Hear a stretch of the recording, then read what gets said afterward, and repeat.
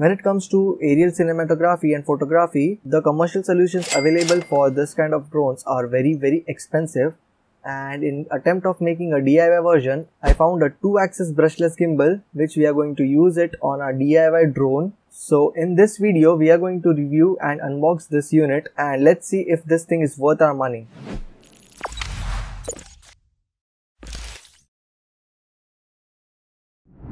So let's open up this box and let's see what's inside.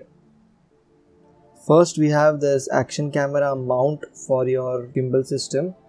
Then we have this main gimbal unit itself.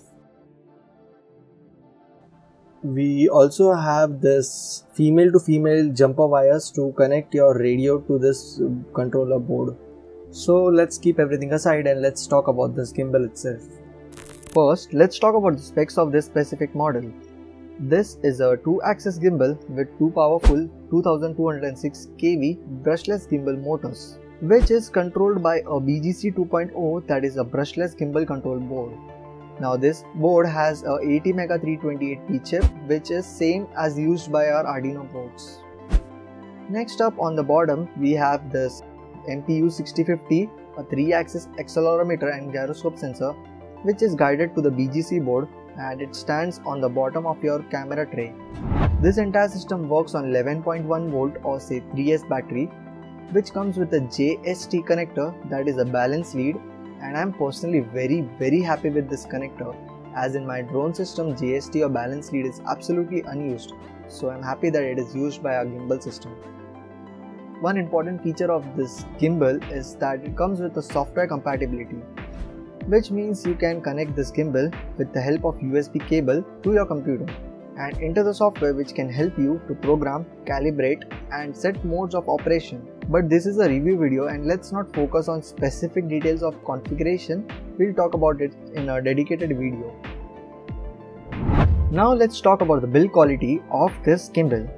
This entire device is enclosed in aluminum alloy, making this system weigh only 200 grams and yet the CNC enclosure is very effective and sturdy. I won't test this device for drop test or something but I'm quite sure this thing can take a few beatings or maybe rough landings. Now let's put in a handy action camera using the velcro mount provided and let's see if this device works.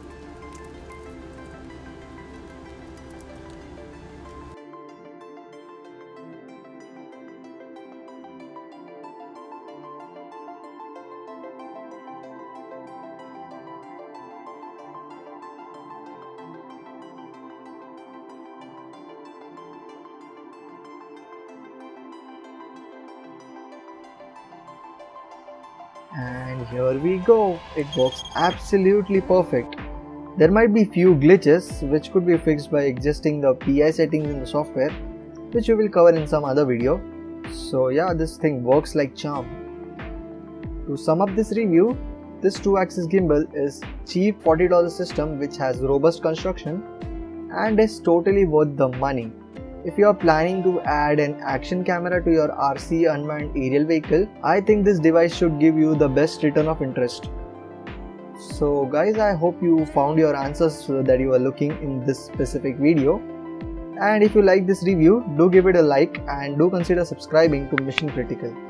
Also, we have started a Patreon page wherein we share a lot of insight of upcoming content and lots of behind the scene clips. You can become my Patreon by donating as low as $1 and this money will help us continue videos with better frequency. With that being said, we will see you guys in the next one.